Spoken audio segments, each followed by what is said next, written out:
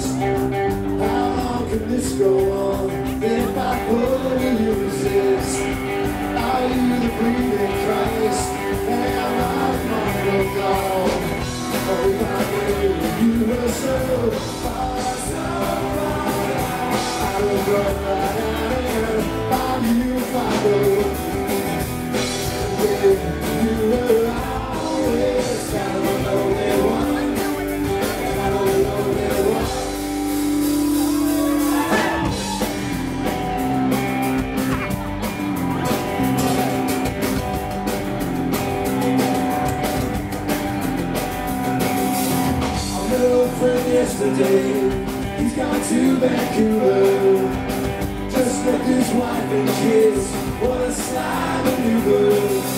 So drunk the night he left, was too drunk to recover. I'm thinking of those, yeah, I'm thinking of those. I knew you were so far gone. I was